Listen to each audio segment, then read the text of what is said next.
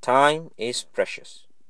You must make the most of what you've got by using your time wisely. One way to do this is to find out which part of the day is your best. Are you a morning person or a night person? Do you feel sleepy and tired after lunch? Try to arrange your study time during your best time of the day.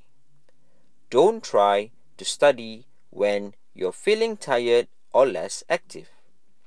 Instead, use that time to do simple everyday tasks like cleaning your room or spending time on a hobby. Don't waste your time. It is good to take frequent breaks every time you are bored or find it difficult to concentrate. You could take a short walk, chat with someone, watch some television, or have a snack.